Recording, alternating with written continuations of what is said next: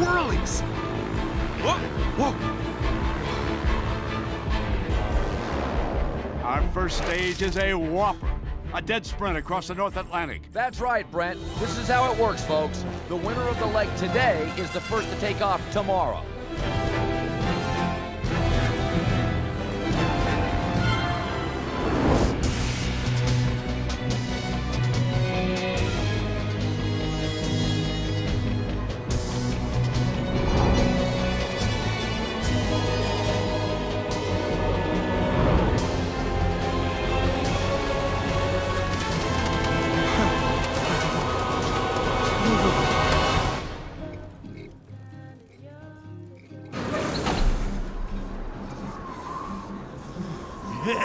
hey, look who's finally here. It's that low-flying farmer boy. You do know this is a race.